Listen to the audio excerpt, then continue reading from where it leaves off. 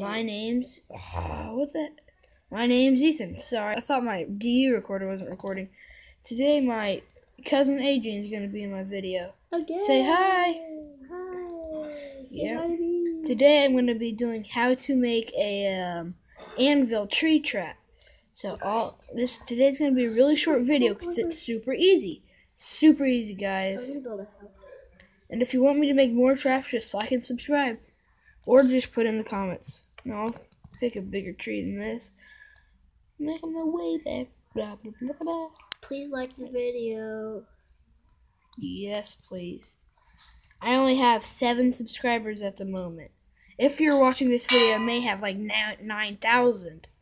But if you're watching it like two days after me, I probably only have like nine, maybe.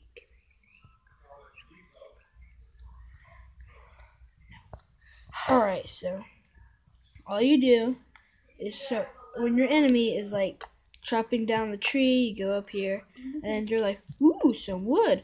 Then and then they just chop it down, and go, oh, ah, oh my guts are everywhere. And yep, the ends will sit in there. Then you can just go gather up all the loot. You can just camp and watch them until something goes up here. Here's a cow.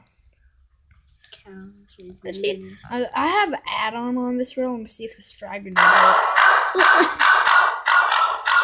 It sure scares them away. I might, I might make another video about on add-ons someday, but well, uh-huh. thank you for watching. Like and subscribe. Bye bye.